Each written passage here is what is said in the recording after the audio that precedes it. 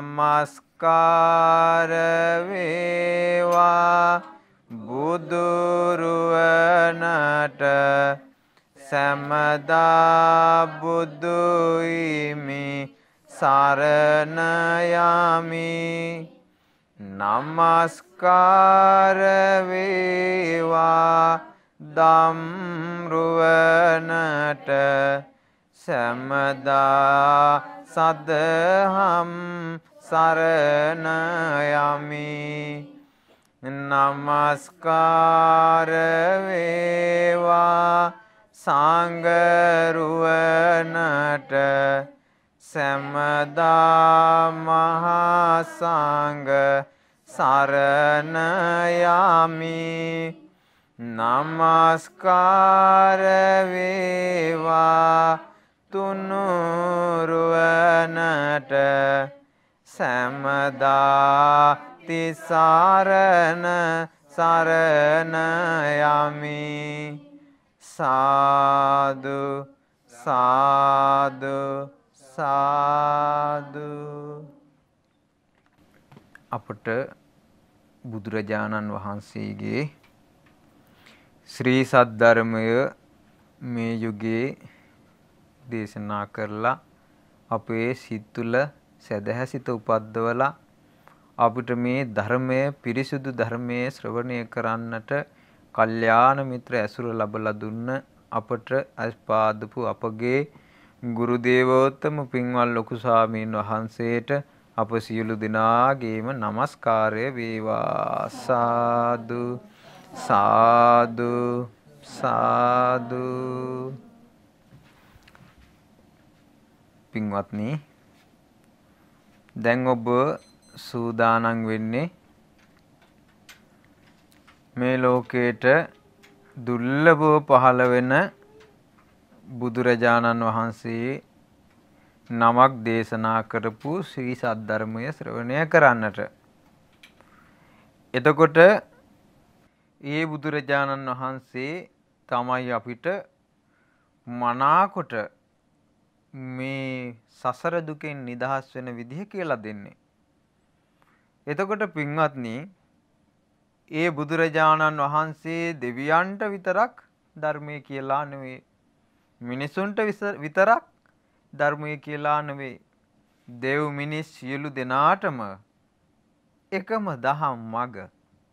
දෙව් මිනිස් සියලු දෙනාට එකම පිළිසරණ. දෙව් දෙවියන්ට එකමාවතක් මිනිසුන්ට එකමාවතක් නෙවෙයි දෙව් මිනිසුන්ට එකම මාවතයි ධර්ම මේ සසර දුකින් නිදහස් වෙන්න තියෙන්නේ. ඒ තමයි ආර්ය අෂ්ටාංගික මාර්ගය. ඒ මාර්ගය බුදු කෙනෙක් තමයි අපිට දේශනා කරන්නේ. එතකොට පින්වත්නි මේ අපි දැන් මේ මේ දවස්වල පොසොන් ධර්ම දේශනා මාලාව. එතකොට පොසොන් එකට පොසොන් කියලා කියන්නේ අපේ මිහිඳු මහරහතන් වහන්සේ ලංකාවට වැඩම කළා අපිට මේ බුදුරජාණන් වහන්සේගේ සසුන අපිට බාර කළා. මිහිඳු මහරහතන් වහන්සේ. එතකොට මිහිඳු මහරහතන් වහන්සේ එහෙම ලංකාවට ඇවිල්ලා මිහිඳු මහරහතන් වහන්සේගේ තාත්තා කවුද? ධර්මාශෝක අධිරාජයා. ධර්මාශෝක අධිරාජයා ගිහිල්ලා ඇහුවා මොග්ගලී පුත්තිස්ස මහරහතන් වහන්සේගෙන් ස්වාමීනි මං දැන් විහෙර විහාර 84000ක් හැදුවා. දැන් මං සසුනට අයිතිද? කිව්වා. රජතුමනි අයිති නෑ. එහෙනම් මොකද්ද මං කරන්න ඕනේ? තමන්ගේ ලේන් ජාතක වෙච්ච දරුවෙක් මහාන කරන්න ඕන. එතන හිටිය අයිනේ මිහිඳු කුමාරයයි සංඝමිත්‍රාවයි දිහා බලනකොට දෙන්නම වැඳගත්තා ඇහුවා පුත් කුමරුනි ඔබ මහාන වෙන්න කැමතිද? අනේ ස්වාමීනි, අනේ පිය රජතුමනි, ඔබතුමන්ගේ මල්ලි, ඒ කියන්නේ තිස්ස කුමාරයා, යුව රජුරෝ මහාන වෙච්ච දවසේ ඉඳන් මා ආසාවෙන් ඉන්නේ මහාන වෙන්න. සංඝ මිත්‍රාවගෙන් ඇහුවා. දියණිය ඔබ කිව්වා මගේ ස්වාමි පුරුෂයා අග්ග බ්‍රාහ්මණයාත් මහාන වුණා. මටත් මේ මහාන වෙන්නයි ආසාව. දින්නම මහාන කළා. මිහිඳු කුමාරයාට අවුරුදු 20යි සංඝ මිත්‍රාවට අවුරුදු 18යි. දෙන්නම පැවිදි වුණා. මිහිඳු කුමාරයා පැවිදි වෙන දවසේම උපසම්පදාවත් දුන්නා.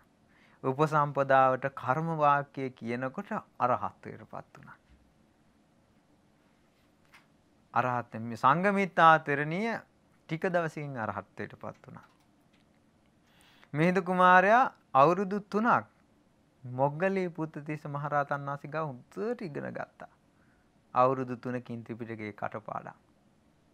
සියල්ල දන්නවා.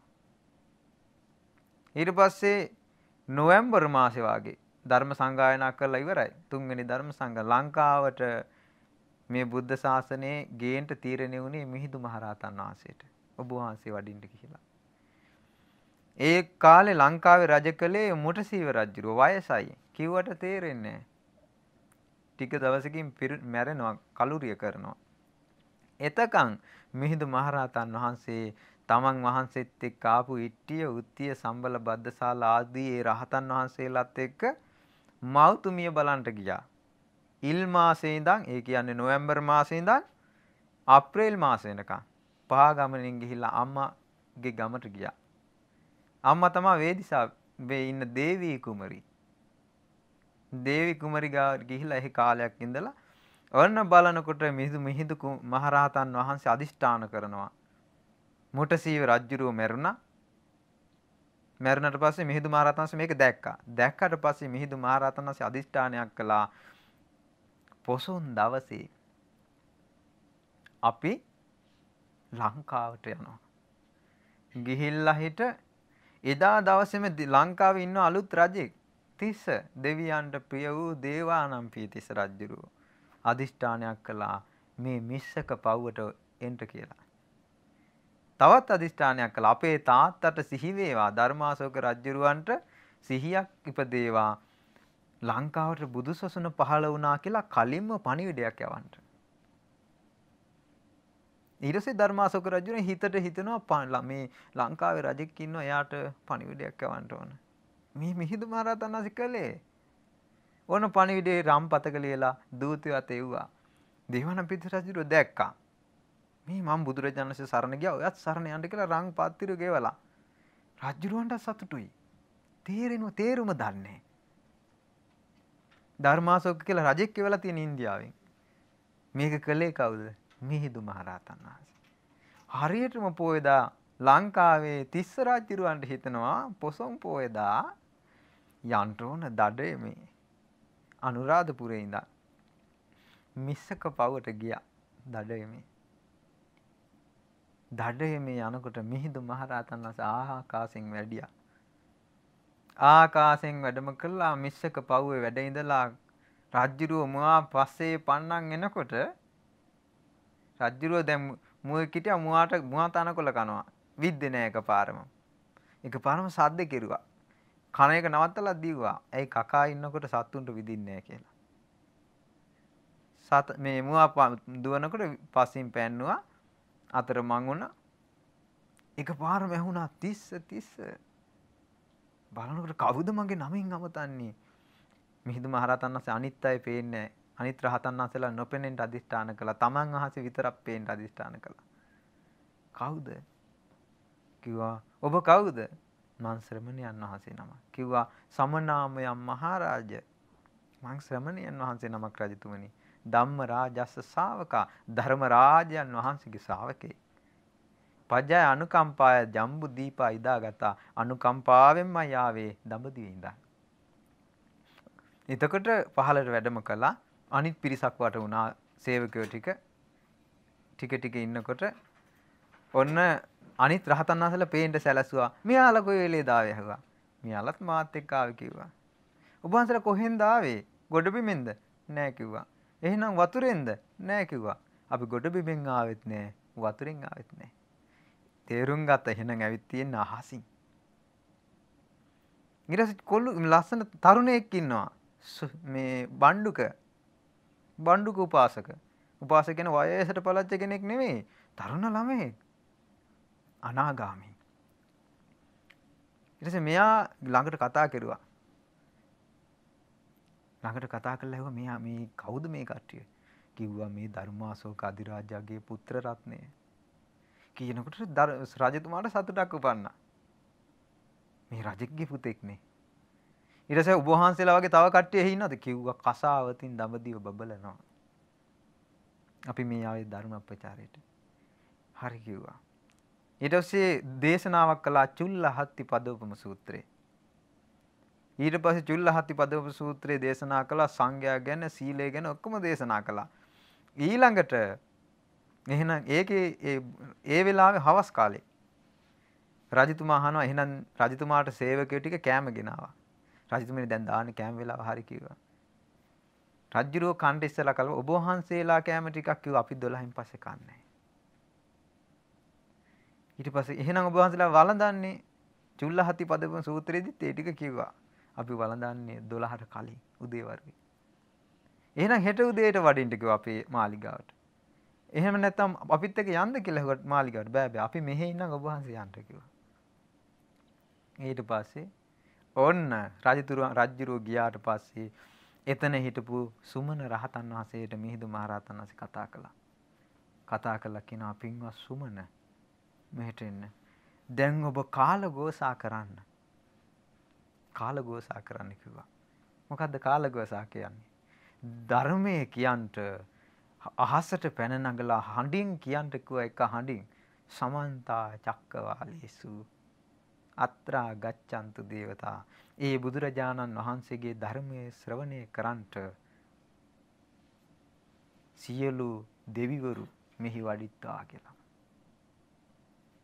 දේවතා ආරාධන කළා. ආන් ඒ වෙලාවේදී මේ මිස්සක පවුව වටට දෙව්වරු බොහෝ පිරිසක් පිරුණා. එදා තමා මිහිඳු මහරහතන් වහන්සේ දෙව්වරුන්ට දේශනාවක් කළා. ඒකේ නම ඒ දේශනාව තමයි අද ඔබට අසන්නට ලැබෙන්නේ. මිහිඳු මහරහතන් වහන්සේ ලංකාවට ඇවිල්ලා කරපු දෙවෙනි දේශනාව. ඒක සමචිත්ත පරියාය සූත්‍රය කියලා හඳුන්වනවා. එතකොට මිහිඳු මහරහතන් වහන්සේ කළපු දේශනාව කළේ කොහේ තියෙන එකක්ද? මට මෙහෙමයි හිතෙන්නේ මට මෙහෙමයි හිතෙන්නේ කියලා කතාවක් නෙවෙයි. මිහිඳු මහරහතන් වහන්සේ දේශනා කරන්නේ එදා සියල්ල දන්න සියල්ල දකින අපගේ බුදුරජාණන් වහන්සේ සැවැත් නුවර ඉන්න කාලේ මෙහෙම සිද්ධියක් වුණා කියලා එදා සිද්ධිය තමයි කිව්වේ. තමන්ගේ එකක් නෙවෙයි කිව්වේ. එදා මෙහෙම එකක් වුණා කියලා මේ සූත්‍රේ පටන් ගත්තේ. හරි ලස්සනයි ඉතින්. එතකොට බුදුරජාණන් වහන්සේ වැඩ හිටියේ ඒ දැන් සූත්‍රයේ මිහිඳු මහරහතන් වහන්සේ දැන් පටන් ගත්තා. දැන් දෙව්වරු පිරිවැරුණා. එතකොට දැන් ඒ වෙලාවේ පිරිසට ධර්මයේ කියනවා. මිහිඳු මහරහතන් වහන්සේ පටන් ගත්තේ කොහොමද? ඒ ඒ දවස්වල මෙහෙම වුණේ. ඒ දවස්වල බුදුරජාණන් වහන්සේ හිටියේ සවැත් නුවර. සවැත් නුවර ජේතවනාරාමේ. කවුද මේ කියන්නේ? මිහිඳු මහරහතන් වහන්සේ. දැන් අදත් අපි කියන්නේ මිහිඳු මහරහතන් වහන්සේ එදා කියපු විදිහට. ධර්මයේ තාම එහෙමයි. දන්න මිහිඳු මහරහතන් වහන්සේ මේ සූත්‍රය කියනවා දේශනා කරනවා ඒ දවස්වල භාග්‍යතුන් වහන්සේ හිටිය සවැත් නුවර ජේතවනාරාමයේ. ඒ දවස්වල සාරිපුත්ත මහරහතන් වහන්සේ සවැත් නුවර පූර්වාරාමයේ හිටියේ. පූර්වාරාමයේ හදලා දුන්නේ විසාකාවනේ. විසාකා සිටු දේවිය. ආනේ පූර්වාරාමයේ වැඩ හිටියේ. ඊට පස්සේ සාරිපුත්ත මහරහතන් වහන්සේ පූර්වාරාමයේ ඉන්නකොට දැන් භාග්‍යතුනා සිටියේ සවැත් නුවර ජේතවනාරාමයේ. සාරිපුත්ත මහරහතන් වහන්සේ දැන් පූර්වාරාමයේ එක තැනක වාඩි වෙලා සංඝ පිරිස දැන් ඉන්නවා. ඉන්නකොට සංඝ පිරිස දිහා බලලා කිව්වා ප්‍රිය ආයස්මතුනි කියලා සංඝ පිරිස ඇමතුවා. එතකොටම ඒ පූර්වාරාමයේ හිටිය දෙවි කෙනෙක් අරක්ගෙන ආනේ දෙවි කෙනාට තේරෙන දැන් සංඝයාට ධර්ම කියන්න යන්නේ. දෙවි කෙනා කල්පනා කළා මහා ගාම්භීර කාරණාවක් කියන්න යන කියලා මේ දහම් පද පටන් ගන්නකොටම ඒ පූර්වාරාමේ හිටපු දෙවි කෙනා අහසට පැන නැගලා ඒ ප්‍රදේශයේ හිටපු සියලු දෙවිවරුන්ට පණිවිඩය කිව්වා. දිව්‍ය ගෝසාවෙන් කිව්වා. ඒ කාලේ සිද්ධ වෙච්ච එක. එතකොට එසැනින් ජම්බුද්වීපයේ හිටපු දෙවිවරු ඒ දෙවරු සාදුකාර දෙනවා ඇහිලා ඒ හඬ බූමාට දෙවරු සිල් දුනාට ඇහුණා. ඊළඟට චාතුම් මහරජකයට ඇහුණා. ඊළඟට යාම මේ චාතුම් මහරජගේ තාවතින්සට ඇහුණා. ඊළඟට යාම තුසිත ආදී අකනිටාවට යනකම් මේ හඬ ඇහුණා. දෙව් දිව්‍ය ගෝසාව. දෙව්වරු රැස් වුණා. දෙව්වරු එදා මාර්ගඵල ලැබුවා මහා ප්‍රමාණයක් කෝටි ගාණක්. මේ සූත්‍රයෙන්. දැන් අපිට මේක ශ්‍රද්ධාව උපද ගන්න තියෙන්නේ. දැන් අපිට මේක අහුව ගමන් ඇහුව ගමන් මාර්ගඵල ලබන්න බැරි. අපිට එහෙම හැකියාවක් නැහැ. හැබැයි දෙව් මේ ගැන හිත පහද ගන්න ඕන කෝටි ගාණක් දෙව්වරු පැහැදුන යක්ෂයෝ කෝටි ගාණක් බුදුරජාණන් වහන්සේ සරණ ගිය නාගයෝ කෝටි ගාණක් ලංකාවේ මේ දේශනාව අහලා තෙරුවන් සරණ ගියා. එච්චර ලස්සන දේශනාවක්. සාරිපුත්ත මහරහතන් වහන්සේ දා මේ ස්වාමීන් වහන්සේලාට කතා කරලා කියනවා ප්‍රිය ආයස්මතුන් වහන්සේ කියනකොට අනිත් ස්වාමීන් වහන්සේලා කියලා එසේ ස්වාමීනි කියනවා සාරිපුත්ත මහරහතන් වහන්සේ මේ දේශනාව පටන් ගන්නවා. කියනවා අජ්ජත්ත සංයෝජනංච ආවුසෝ පුද්ගලන් දේශිස්සාමි බහිද්දා සංයෝජනංච කියනවා ආයුෂ්මතුනි ආ තමා තුළ තියෙන සංයෝජන මං ඔබට දේශනා කරන්න. ආධ්‍යාත්මයේ තියෙන සංයෝජන ආධ්‍යාත්මයේ තියෙන සංයෝජන කියලා කියන්නේ තමා තුළ තියෙන කෙලෙස් බන්ධන බැඳිලා තියෙනවා. ඔබට මං දේශනා කරන්නම්. ඒ වගේම තමයි බාහිර තියෙන කෙලෙස් බන්ධනත් ඔබට දේශනා කරන්න. ආධ්‍යාත්මයේ තියෙන කෙලෙස් බන්ධනත් බාහිර තියෙන කෙලෙස් බන්ධනත් ඒ කියන සංයෝජන සංයෝජන කීයක් තියෙනවා 10ක් තියෙනවා. ඒ සංයෝජන වලට කියනවා දස සංයෝජන. ඒවා තමයි සක්කාය දිට්ඨිය, විචිකිච්ඡාව, සීලබ්බත පරාමාස, කාමරාග, පටිග ඔය තමයි මෙලොවට බැඳිලා තියෙනවා. මේ තමා තුළ මෙලොවට කාම ලෝකයට බැඳිච්ච සංයෝජන. ඊළඟට රූප රාග, අරූප රාග, මාන, උද්දච්ච, අවිජ්ජා මේවා අරූපී ලෝකවලට බැඳිලා තියෙන සංයෝජන. අනිත් ඒවා ඔක්කොම කාම ලෝකෙට බැඳිලා තියෙන සංයෝජන. මේවා 10ක් තියෙනවා සංයෝජන. දස සංයෝජන. සාරිපුත්ත මහරහතන් වහන්සේ දේශනා කළා ප්‍රිය ආයස්මතුනි ආධ්‍යාත්මෙහි කෙලෙස් බන්ධන තියෙන පුද්ගලයා කියන්නේ කවුද? ආධ්‍යාත්මයේ කෙලෙස් බන්ධන තියෙන පුද්ගලයා ගැන මම ඔබට දේශනා කරන්න. දැන් මේ කියන්නේ තමා තුළ මේ තියෙන සංයෝජන ගැන. ඒ පුද්ගලයන් ගැන තමයි දේශනා කරන්නේ. කියනවා ප්‍රිය ආයස්මතුනි ආධ්‍යාත්මයේ කෙලෙස් බන්ධන ඇති පුද්ගලයන් කවුද? ප්‍රිය ආයස්මතුනි මෙහිලා භික්ෂුවක් ඉන්නවා. දැන් ඔන්න රහතන් වහන්සේ නමක් සංඝයාට දේශනා කරද්දී දෙව්වරු කෝටි ගාණක් අහගෙන ඉන්නකොට සිද්ධ වෙන සිදුවීම. මීට අවුරුදු 2000 ගානකට කලින්. ඒ වගේම මීට අවුරුදු 1000කට විතර කලින් ලංකාවේ මිහිඳු මහරහතන් වහන්සේ දෙව්වරු පිරවරාගෙන රහතන් වහන්සේලා කීප නමකට දේශනා කරන ධර්මයේ. කියනවා ආධ්‍යාත්මෙහි කෙලෙස් බන්ධන ඇති පුද්ගලයා කියන්නේ මෙයා. ආධ්‍යාත්මය කියලා කියන්නේ තමා තුළ. කෙලෙස් බන්ධන කියලා සංයෝජන. දේශනා කරන මෙහිලා භික්ෂුවක් සිල්වත්ව ඉන්නවා. ප්‍රාතිමෝක්ෂ සංවරයෙන් වාසය කරන තමන්ගේ ඒ සමාදන් වුණ සිල්පද බොහෝම ගෞරවයෙන් රැකගෙන වාසය කරනවා. ඒ සිල්පද රැකගෙන සිහියෙන් නුවණින් වාසය කරනවා. ඊට පස්ස අනුමත්තේසු වජ්ජේසු බය දස්සාවි. අනුමාත්‍ර වර්දෙත් බය දැක දැක වාසය කරනවා. යහපත් ඇවතුම් පැවතුම් ගුණධර්ම යහපත් ඇවතුම් පැවතින් ගතිගුණ ඒව පුරුදු කර කර වාසය කරනවා. ඊළඟට සමාදන් වූ සිල්පද ගෞරවයෙන් ආරක්ෂා කරනවා. ඒ වගේ හික්මෙනවා. ආන්නේ භික්ෂුව කය බිදිලා මරණින් මත්තේ එක්තරා දේව ලෝකික උපදිනවා. ඒ භික්ෂුව දැන් සිල්වත් වෙලා හිටියා ලස්සනට වාසය කළා මරණින් මත්තේ ගිහිල්ලා එක්තරා දිව්‍ය ලෝකයක ඉපදෙනවා.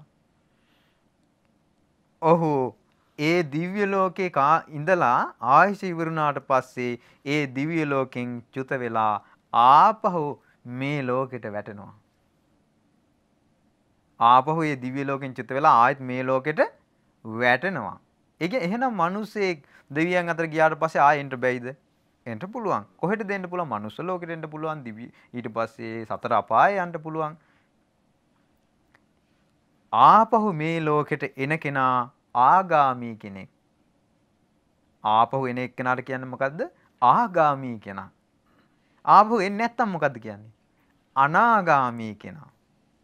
ආපහු එන කෙනාට කියනවා ආගාමී කෙනා. ප්‍රිය ආශ්මතුනි මොහුට තමයි ආපසු මේ ලෝකෙට ආපසු මේ ලෝකයට එන ආගාමී නම් වූ ආධ්‍යාත්මෙහි කෙලෙස් බන්ධන තියෙන පුද්ගලයා කියලා කියන්නේ.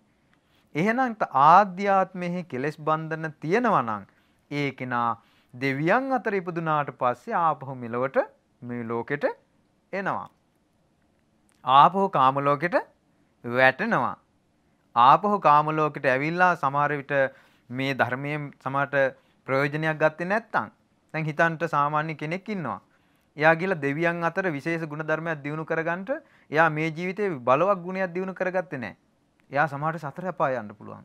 සමහර මාර්ගඵලලාභී අය ඉන්නවා මේ ජීවිතේ. එයා දිනු එයා යම් ගුණයක් දිනු කරලා ගිහිල්ලා දෙවියන් අතර ඉපදිලා දෙවියන් අතර විශේෂ ගුණ ධර්ම දිනු කරනවා. එයින් පස්සේ සමහර අය ගිහිල්ලා විශේෂ බ්‍රහ්ම ලෝකවල උපදිනවා. ඒ තම තමන් පුරුදු කරන විදිය. මේ දෙවරුන් අරමුණු කරගෙන එදා දේශනා කරනවා මිහිඳු මහරහතන් වහන්සේ.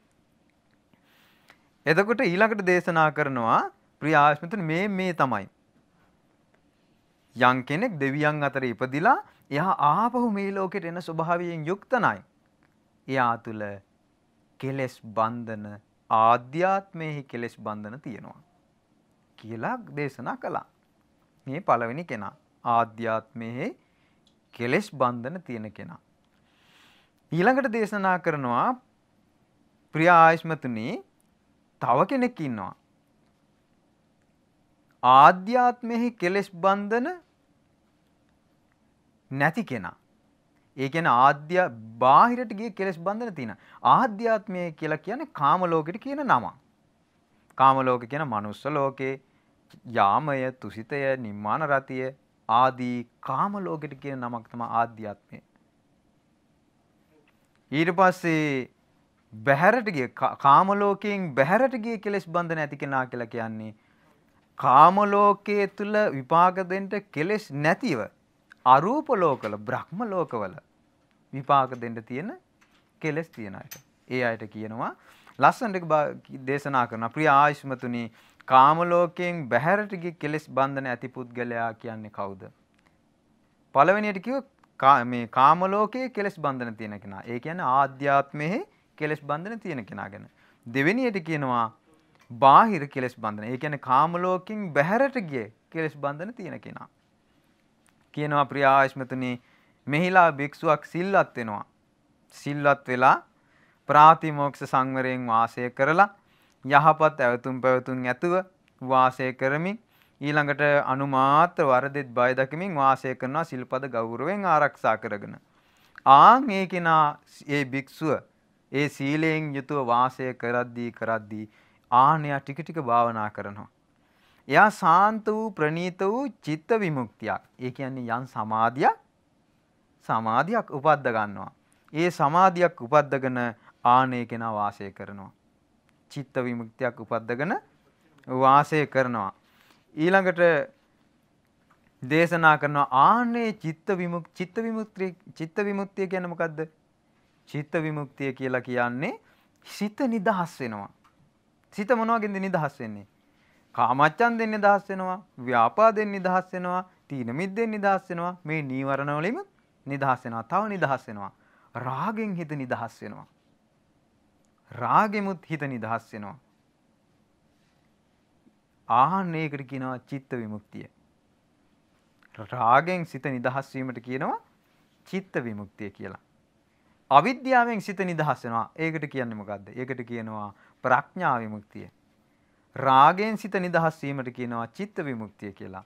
අවිද්‍යාවෙන් සිත නිදහස් වීමට කියනවා ප්‍රඥා විමුක්තිය කියලා. දේශනා කරනවා යම්කිසි භික්ෂුව මේ විදිහට සීලය පිහිටලා සාන්ත වූ සමාධියක් උපදගෙන වාසය කරනවා. චිත්ත විමුක්තියක් උපදවගෙන වාසය කරනවා. ආන් ඒ කෙනා කය බිඳිලා මරණින් මත්තේ එක්තරා දිව්‍ය ලෝකෙක උපදිනවා. ඉපදුනාට පස්සේ ඒ දිව්‍ය ලෝකෙන් චුත වෙලා කාලයක් ඉඳලා ඒ දිව්‍ය ලෝකෙන් චුත වෙලා ආපහු මේ මනුස්ස ලෝකෙට එන්නේ නැහැ. ආපහු මේ මනුස්ස ලෝකෙට එන්නේ නැහැ කිව්වා. ඒ කෙනා ඒ ලෝකෙම වාසය කරනවා ඒ කියනවා ඒ කෙනාට කියනවා ආපහු මෙලොවට නොයන කෙනා. අනාගාමී කෙනා. අනාගාමී පුද්ගලයා එයාගේ තමයි එයා අනාගාමියයි උපදින්නේ කොහෙද? සුද්ධාවාස බඹලව. සුද්ධාවාස බඹලව ගිහිල්ලා උපදිනවා. බුදුරජාණන් මේ සාරිපුත්ත මහරහතන් වහන්සේ දේශනා කරනවා තමා තුල කෙලස් තියෙන කෙනා ඒ කියන්නේ සක්කාය දිට්ඨි විචිකිච්ඡා සීලබ්බත පරාමාස කාමරාග පටික කියන පහ තියෙන කෙනා දෙවියන් අතර උපන්නත් ආයෙත් මෙලොවට එන ස්වභාවයෙන් යොක්තයි හැබැයි යම් කෙනෙක් සක්කාය දිට්ඨිය, විචිකිච්ඡා, සීලබ්බත පරාමාස, කාමරාග, පටික කියන මේ පහ දුරු කරලා නම් ඉන්නේ. ඒවට කියනවා ඌරම්භාගිය සංයෝජන. ඒව දුරු කරලා නම් ඉන්නේ. එයා මරණින් මත්තේ ගිහිල්ලා එක්තරා දිව්‍ය ලෝකයක උපදිනවා. සුද්ධාවාස ආදී බඹල උපන්නට පස්සේ ආයේ මේ ලෝකෙට එන්නේ නෑ. එයා එහෙදි පිරෙන මේ කාරණේ කියනකොට දෙවිවරුන්ට මේක තේරෙනවා. දැන් අපිට මේක මේ අමුතු වෙලා තේරුණාට මේක තේරෙන්නේ නැහැ. මෙහෙ කියන්නේ මොකද්ද කියලා තේරෙන්නේ නමුත් දෙවිවරුන්ට මේවා තේරෙනවා. ඇයි මොකද හේතුව? අර දෙවිවරු ගොඩාක් සසරේ බුද්ධ ශාසනවල සිද්ධ දිනු කළා. ඒකයි බණක් කියනවා කියනකොට ඔක්කොම ආවේ. දැන් බලන්න ඒකේ තියෙන වටිනාකම. අපි මේ ජීවිතේ ධර්ම පුරුදු කරන එකේ. ඊළඟට කියනවා දැන් අනාගාමි ශ්‍රාවකයෝ කීප දෙනෙක් ඉන්නවනේ. අනාගාමි ශ්‍රාවකයෝ ඉන්නවා සමහර ශ්‍රාවකයෝ ඉන්නවා මෙහෙන් ඔන්න අනාගාමී වෙලා ඉන්නවා. හොඳට ධර්මයේ දිනු කරගෙන. අනාගාමී වෙලා මෙහෙන් ගිහිල්ලා ඊළඟ ලෝකේ උපදින්නට යනකොටම ඒ කියන්නේ මෙහෙන් චුත වෙලා මෙහෙන් මැරිලා එහි පහළ වෙන්න යනකොටම අතරමඟදී පිරිනොම් පානවා. ඒ අයට කියනවා අන්තරා පරිනිබ්බායි. හිතන්න මේ වගේ කිව්ව බුදුරජාණන් වහන්සේ. දවසක් මුළුල්ලේ රත් වෙච්ච යකඩකින් තවත් යකඩකට දවසක් මුළුල්ලේ රත් වෙච්ච යකඩකට ගහනවා. ගහපු ගමන් ගිනි පුපුරක් එළියට ආපු ගමන් නිමිලා යනවා සමහර ඒවා. ඒ වගේ කිව්වා මෙහෙන් මැරිලා කෙලින්ම ඊළඟ ලෝකෙට යනකොටම අතරතුරේ පිරිනව පානවා. පළවෙනි අනාගාමි ශ්‍රාවකයා. එයාට කියනවා අන්තරා පරිනිබ්බායි. ඊළඟට කියනවා තව සමහරු ඉන්නවා. මෙහෙන් චුත වෙනකොට තව ටිකක් ගිහිලා පිරිනව පානවා. ඒක හරියට දවසක් මුළුල්ලේ රත් වී තියෙන යකඩකින් තවත් ඒ වගේ යකඩකට ගහනකොට අර ගිනි පුපුරක් මතුවෙනවා. ගිනි පුපුර එකපාරම නිවෙන්නේ උඩට ගිහිල්ලා තමයි නිවෙන්නේ. එහෙම ගිනි පුපුර නිවෙනවා. ඒ වගේ ශ්‍රාවකයොත් ඉන්නවා. දැන් අපිට මේව දැකලා තියෙනවද අපි? මේවා අදහා ගන්න තියෙන සැදැහැ සිතින්. බුද්ධ ශාසනයෙන් බැහැරව මේව අහන්න නෑ. සැදැහැ සිතින් මේවා දැන් අපි දකලත් නෑ. මේ බුදු කෙනෙක් නිසා මේව ඇහුනේ. ඊළඟට කියනවා සමහර අනාගාමී ශාක පළවෙනි කෙනා හරියට ගිනි පුපුරක් යන එළියට එනකොටම නිමුණා වගේ. දෙවෙනි කෙනා උඩට ගිහිල්ලා උඩදී නිවෙනවා. එයාටත් කියනවා අන්තරා පරිනිබ්බායි කියලා. දෙවෙනි අන්තරා පරිනිබ්බායි. දෙවෙනි කෙනා ඒක ආයෙත් ගිනි පුපුරකට යකඩට ගහනකොට ගිනි පුපුරක් චුට්ටක් දුර උඩට ගිහිල්ලා පොළවට වැටෙන්න යනකොටම පිරිනවම් පානවා. නිමිලා යනවා. ඒ වගේ කිව්වා සමහර ශ්‍රාවකයෝ ඒ උපදින්නේ ඒ උපදින්න කලින් අතරතුරේ පිරිනොම් පානවා. තුන්වෙනි අන්තරා පරිනිබ්බායි ශ්‍රාවකයා. මේ අනාගාමී ශ්‍රාවකයෝ. සක්කාය දිට්ඨි විචිකිච්ඡා සීලබ්බත පරාමාස කාමරාග පටික දුරු කරපු අය. ඊළඟට කියන හතරවෙනි කෙනා. සමහර ශ්‍රාවකයෝ ඉන්නවා මෙහෙන් ගිහිල්ලා එහෙ උපදිනවා. උපදුන ගමන් පිරිනොම් පානවා. ඒක හරියට ගිනි පුපුරක් විසි වෙලා ගිහිල්ලා පොළොවට වැටුණ ගමන් නිමෙනවා. ඒ වගේ කිව්වා සමහර ශ්‍රාවකයෝ මෙහෙන් චුත වෙලා ගිහිලා මනුස්ස ලෝකෙන් අනාගාමී ශ්‍රාවකයෝ සුද්ධාවාස ඉපදුන ගමන් පිරිනොම් පානවා. උපහච්ච පරිනිබ්බායි. තවත් සමහර ශ්‍රාවකයෝ ඉන්නවා කිව්වා හරියට මේ වගේ ගිනි පුපුර අර ගිනි යකඩෙන් යකඩට ගහනකොට ගිනි පුපුරක් උඩට යනවා. උඩට ගිහිල්ලා පොළොවට වැටෙනවා. පොළොවට වැටිලා එතන තියෙන වටේ තියෙන රොඩු අත ඒ ටික ගිනි අරගෙන පිච්චිලා අර රොඩු නැති නිසා ඔන්න පිච්චිලා නිමිලා යනවා. ඒ වගේ කිව්වා. සමහර ශ්‍රාවකයෝ ඉන්නවා මෙහෙන් චුත වෙලා ගිහිල්ලා සුද්ධවාස ඉපදෙනවා. ඉපදිලා ටික කාලයක් ඉඳලා ඒ කාලයේ සංස්කාර සංසිඳවලා එහෙදි පිරින ඒ අයට කියනවා අසංකාර ශ්‍රාවකය අසංකාර පරිනිබ්බාන. තව ශ්‍රාවකයෝ ඉන්නවා කිව්වා මෙහෙන් චුත වෙලා ගිහිලා ඒ ඉපදිලා කාලයක් ඉන්නවා යම් කාලයක්. ඒ කාලේ වාසය කරලා අන්න පිරිනොම් පානවා. ඒක හරියට ගිනි පුපුරක් උඩට ගිහිල්ලා පොළොවට වැටිලා වටේ තියෙන පොඩි රොඩු පුච්චලා දාලා ලොකු ලොකු මහත් වූ දේවලුත් පුච්චලා දාලා ගින්න නිවෙනවා වගේ. හේතු නැතිවීමෙන්. ඒ වගේ ශාවකයෝ ඉන්නවා. එයාලට කෙනා කිව්වා සසංකාර පරිනිබ්බායි. තව අය ඉන්නවා කිව්වා මේ ලෝකෙන් චුත වෙලා ගිහිල්ලා අවිය ලෝකෙ ඉපදෙනවා. ඊළඟට අතප්ප ලෝකෙට යනවා. අවි සුද්දස්ස ලෝකෙට යනවා. සුදස්සී ලෝකෙට අකනිටාවට යනකම් පිළිවෙලින් ඉපදී ඉපදී ඉපදී ගිහිල්ලා පිරිනවම් පාන අවසානයේ. ඒ අයට කියනවා උද්දන්සෝත අකනිට්ඨගාමි. ඔය ශ්‍රාවකයෝ දැන් මේව අපි දැකලා නැහැ. මේව සැදැහැසිතින් අදාහ ගන්න තියෙන්නේ. ඇයි බුදු කෙනෙක් විතරයි බුදු කෙනෙක්ගේ ශ්‍රාවකෙක් විතරයි මේ ලෝකෙ උපදින්නේ. ඊ අනාගාමි ලෝකවල උපදින්නේ බුදු කෙනෙක්ගේ ශ්‍රාවකෙක් විතරයි. ගිහි කෙනෙක් නම් බුදුරජාණන් වහන්සේ දේශනා කළා කවුරු වගේ වෙන්න කියලාද? චිත්ත ගෘහපතිතුමා වගේ මිම්මට තියාගන්න කිව්වා. චිත්ත ගෘහපතිතුමා අනාගාමී ශාවකෙක්. එයා ඉන්නේ කොහෙද? බඹලොව. සුද්ධාවාසී. ගිහි කෙනෙකුට මිම්මත් තියාගන්න කිව්වා මං චිත්ත ගෘහපතිතුමා වගේ වෙනවා කියලා. ගිහි මේ උපාසිකාවකට කුජ්ජුත්තරා වගේ වෙන්න කිව්වා. නන්ද මාතා අනාගාමී ශාවකාව. ඒවා ගැන සැදැහැසිත් උපදව ගන්නට. ඊළඟට ඒ වගේ අය බුදුරජාණන් වහන්සේ දැන් දේශනා සාරිපුත්ත මහරහතන් වහන්සේ දේශනා කරනවා මේ වගේ ශ්‍රාවකයෝ බුද්ධ ශාසනයේ ඉන්නවා. ඊට පස්සේ දැන් දැන් මේ දේශනා කළා බහැරට ගිය කෙලස් බන්ධන තියෙන කෙනා. ඒ කියලා කියන්නේ සක්කාය දිට්ඨි විචිකිච්ඡා ආදී ඕරම්භාගිය සංයෝජන සියල්ල දුරු කරලා ඊළඟට රූප රාග අරූප රාග මාන උද්දච්ච අවිජ්ජා කියන උද්දම්භාගිය සංයෝජන පමණක් ඉතුරු වෙලා ඉන්නවා. ඒ බහැරට ගිය කාමයන්ගෙන් බහැරට ගිය සංයෝජන ඉතුරු වෙලා තියෙනවා. ආන්නේ අය ආය මේ ලෝකෙට එන්නේ එහෙදිම පිරිනුවම් පානවා. ඒ තමයි දෙවෙනි කෙනා. අනාගාමී ශ්‍රාවකයා. පළවෙනි එක්කනත් ගැන දේශනා කළා ආගාමී ශ්‍රාවකයා. දෙවියන් අතර ඉපදිලා ආයෙත් මනුස්ස මේ ලෝකවලට එනවා. අනාගාමී කෙනා ඒ ලෝකවල පිරින ආයෙ මෙහෙට එන්නේ කාම ලෝකෙට එන්නේ නැහැ. දැන් දෙවිවරුන්ට මේවා එකින් එක තේරෙනවා. ඊළඟට කියන තවදුරටත් ආයස්මතුනි කියන්නේ යම් භික්ෂුවක් ඉන්නවා සිල්වත් එයා ශික්ෂාපද ගෞරවයෙන් රකින්නවා සීලයෙන් සංවර වෙලා අවතුම් පැවතුම් යහපත් වාසය කරනවා. ඔහු කාමයන් ගැන මේ ඇහැට පේන රූප ගැන සද්ද ගැන ගන්ධ සුවඳ ගැන කලකිරීමෙන් වාසය කරන ඒ භික්ෂුව. ඒ භික්ෂුව කාමයන් ගැන කලකිරීමෙන් ඒවා ගැන නොඇලීම පිණිස නිදහස් වීම පිණිස කලකිරීම බහුලව වාසය කරන මේ කාමයන් ගැන. අද සාමාන්‍ය ලෝකේ ඉන්න කාමයන් අල්ලගෙනනේ ඒ යම් භික්ෂුවක් ඉන්නවා කාමයන් ගැන කලකිරීමේ. ඊට පස්සේ මේ ඉපදීම ගැන කාම ලෝකේ උපතට ඊළඟ භවයන් කෙරෙහි උපතට අකමැත්තින් වාසය කරනවා. ඒ කියන්නේ ඒ මාර්ගය පුරුදු කරනවා. ඒ උපතට අකමැත්තින්.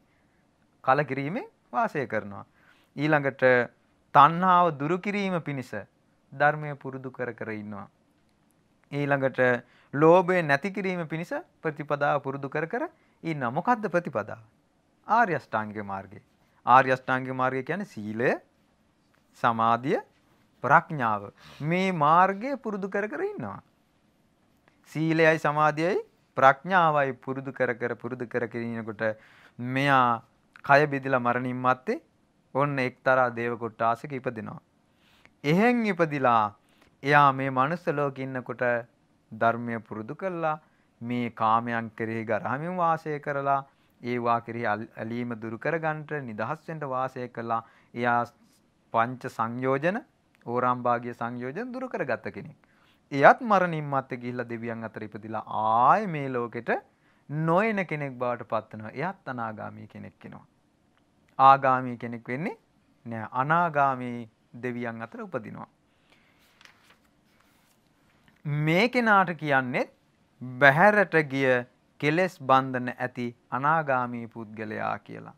ඒ කියන්නේ බැහැරට ගිය කෙලෙස් බන්ධන, ඉගෙන කාම ලෝකයට නොවැටෙන කාම ලෝකයෙන් බැහැරට ගිය කෙලෙස් බන්ධන ඇති කෙනා. අනාගාමී කෙනා. ඕන ඔය දේශනාව තමයි කරගෙන ගියේ. දැන් මේ දේශනා කළේ අනාගාමී ශාවකයෙක් ගැන. මේ ලෝකයට නොවන දෙයක් ගැන. දෙවරු වට කරගෙන සාරිපුත්ත මහරහතන් වහන්සේ. එකල්හි ඒ වෙලාවේදී බොහෝ දෙවිවරු රැස් වෙලා හිටියනේ.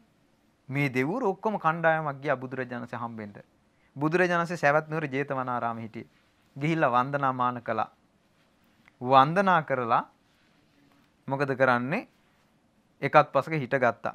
හිටගෙන භාග්‍යතුන් වහන්සේට දේශනා කරනවා ස්වාමීනි සාරිපුත්ත මහරහතන් වහන්සේ පූර්වාරාමේ මේ ලස්සන දහම් කරුණු වගේක් කියනවා මේ භික්ෂුන් වහන්සේලාට කාම ලෝකයෙන් බැහැරට යන පුද්ගලයා ගැනත් කාම ලෝකයට බැඳිච්ච පුද්ගලයා ගැනත් දේශනා කරනවා ආගාමී කෙනා ගැනත් අනාගාමී කෙනා ගැනත් දේශනා කරනවා ස්වාමීනි හරි අපූර්ව දේශනාවක් ස්වාමීනි ඔබ වහන්සේත් එදෙන්න වඩිනවා නම් හොඳයි කියලා දේශනා කිව්වා.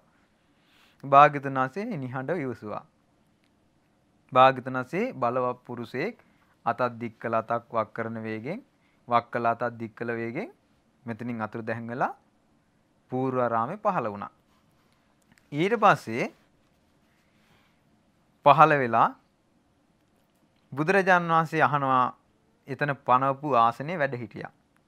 වැඩ ඉඳලා සාරිපුත්ත මහරහතන් වහන්සේට භාග්‍යතුන් වහන්සේ අහනවා පින්වත් සාරිපුත්ත මේ දෙවිවරු මේ සමසිත ඇති දෙවිවරු. ඒ කියන්නේ දෙවි හැම දෙවි කෙනෙක්ගේම සිත සමානයි. සිතවිලි සමානයි. එක සමව සිත් වඩලා තියෙනවා. මේ සම්බහුලා සමචිත්තා දේවතා මේ සම බොහෝ සමසිත් ඇති දෙවරු මංගාවට ආවනේ සාරිපුත්තය. ඇවිල්ලා මට කිව්වා මෙහෙම දේශනාවක් කරනවා. මේ මොකද්ද දේශනාව? කාම ලෝකයෙන් බැහැරට කෙලෙස් බන්ධන තියෙන කෙනාත් කාම ලෝකයට කෙලෙස් බන්ධන තියෙන කෙනාත් ආගාමී කෙනා අනාගාමී කෙනා ගැන දේශනා කරනවා අනේ ඔබ වහන්සේත් එතනට වඩින්ට කියලා මට කිව්වා. ඒකයි මං ආවේ. ඊට පස්සේ දේශනා කරනවා පින්වත් සාරිපුත්තය ඒ දෙව්වරු ඒ දෙව්වරු 10 දෙනෙක්. ඒ දෙව්වරු 20 දෙනෙක් වෙලා. ඒ දෙව්වරු 30 දෙනෙක්. ඒ දෙව්වරු 40 දෙනෙක් 50 දෙනෙක් 60 දෙනෙක් ආදී දෙව්වරු බොහෝ දෙනෙක්. ඉන්නවා කිව්වා එක ඉදිකට්ටක් ගහන ඉඩ තුල ඉදිකටු තුඩක් ගහමේ පොළවේ ගහන තැනක දෙවුරු දෙන්නෙක් නෙවෙයි තුන් දෙනෙක් නෙවෙයි 10ක් 15ක් 60ක් 70ක් දෙව්වරු ඉදිකටු තුඩක් ගහන ප්‍රමාණය තැන ඉන්නවා කිව්වා. භාග්‍යතුන් වහන්සේ කියන දෙව්වරු කෝටි ගණන් පිරලා ඉන්නේ. ඉදිකටු තිඩක් ගහන තැන දෙව්වරු 50 60 එකට ඉන්නවා කිව්වා. හැබැයි එක්කෙනෙකුට එක්කෙනෙක් පෙලා ගන්නෑ. අනේ අහකට යන්නකෝ. මේ මොන වදයක්ද? එහෙම නෑ. දෙව්වරු ඉදිකටු තුඩක් ගහන තැන කෝටි ගාණක් ඉන්නවා. දේවරු කෝටි ගාණක් පිරීලා ඉන්නවා ආකාශේ. කිව්වා ඉදිකටු තුඩක් ගහන තැන ඉන්නේ. ආන් ඒ වෙලාවේදී කියන සාරිපුත්ත තවක් කෙනෙක් තවක් කෙනෙකුට දුකටපත් කරන්නේ තවක් කෙනෙක් තවක් කෙනෙකුට දුකටපත් කරන්නේ ඇහුවා සාරිපුත්තය ඔබට හිතෙන්න පුළුවන්. මේ දෙව්වරු මෙහෙම හොඳට හිත වඩලා තියෙන්නේ. මොකක් නිසාද මේ? සමව සිත වඩලා. එක්කෙනෙකුට එක්කෙනෙක් සමව සිත් වඩලා. සමසිත වඩලා සිතෙන් කරන්න පුළුවන් දේවල්. කියනවා ඒ වෙලාවේදී සාරිපුත්තේ ඔබට මෙහෙම හිතෙන්න පුළුවන්. මේ දෙව්වරු මේ විදියට සමසිත වැඩුවේ. මේ විදිහට එකඟ සිත වැඩුවේ. වෙන දෙවිලෝක වෙන්න ඇති කියලා වෙන තැනක වෙන්න ඇති කියලා. වෙන කොහේ හරි දෙ වෙන්න ඇති කියලා කිව්වා සාරිපුත්තේ නෑ එහෙම හිතන්න එපා.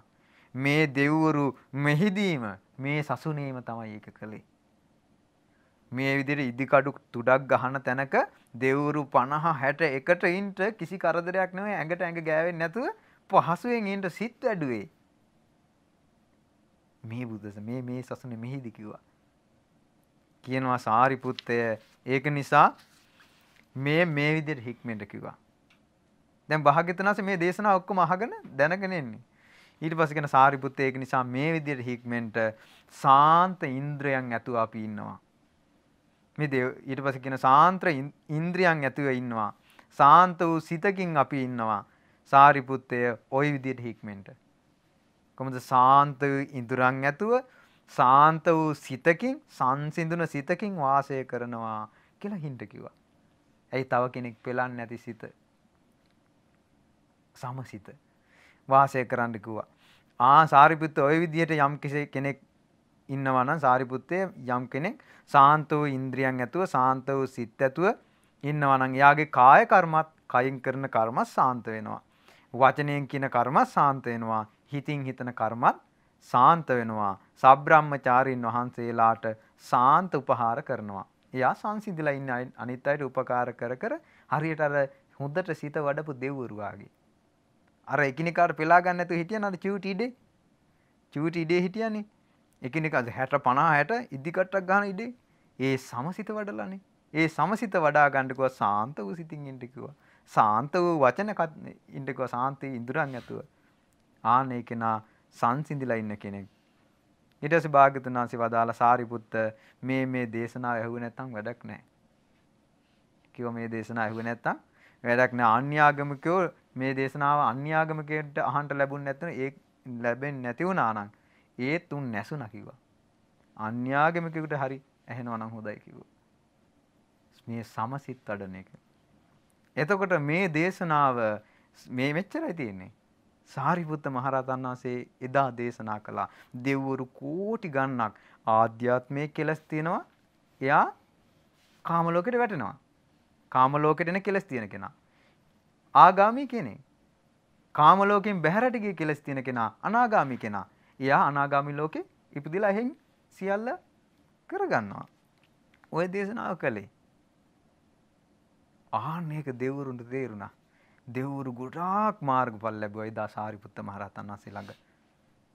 භාග්‍යවතුන් ඒක අනුමත කළා. ඊළඟට මිහිඳු මහරහතන් වහන්සේ ලංකාවේ යෝග කියනකොට දෙව්වරු දහස් ගාණක් ලංකාවේ එදා පොසොන් පොය දවසේ මාර්ගඵල ලැබුවා. දෙව්වරු දහස් ගාණක් අනාගාමී වුණා. නාගයෝ දහස් ගාණක් බුදුරජාණන්සේ සරණ ගියා. ධර්මයේ සංඝයා සරණ ගියා. ඊට පස්සේ මේ ලෝකේ යක්ෂයෝ බුදුරජාණන්සේ සරණ ගියා. මිහිඳු මහරහතන් වහන්සේ ඉස්සරහා. පොසොන් පොයදා. ඒක නිසා පින්වත්නි අපිට මේ කාල වේලාව තියෙන විදිහට මේ අපි සමසිත වඩන කරන සමචිත්තපරයය සූත්‍රයේ ඇසුරෙන් මේ දේශනාව කළේ. ඒක නිසා බුදුරජාණන් වහන්සේගේ ශාවකයෝ විදිහට අපිට බුදුරජාණන් වහන්සේගේ සරණ සිහි කර කර බුදුරජාණන් වහන්සේගේ මේ දේශනාව ගැන හිත පහද ගන්න ඕන මුලින්ම. ඊළඟට අපිට අහිංසක මේ ලැබුණු විදිහට මේ මේ ධර්මයේ කෙරෙහි සිත් පහදවාගෙන බුදුරජාණන්සේගේ ධර්මයේ කෙරෙහි සාත්‍රුන් වහන්සේ කෙරෙහි ශ්‍රාවක සංඝරත්නය කෙරෙහි මේ ප්‍රතිපදාව ගැන. ඊට පස්සේ මේ වගේ ශ්‍රාවකයෝ ලෝකෙට බිහි වෙලා ඉන්නවා. කොයිතරම් අසිරිමත්ද?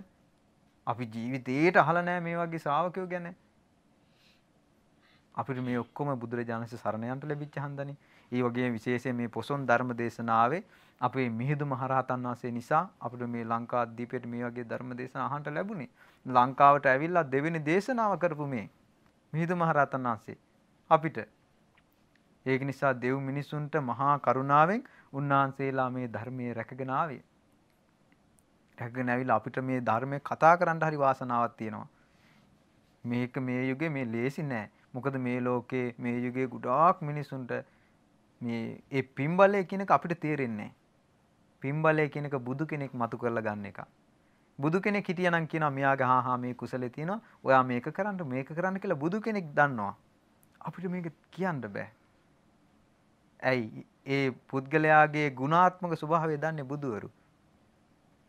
ඒකයි. ඒක නිසා මේ ගැන සිත පහදවා ගන්නට. සිත පහදවා ගන්නට.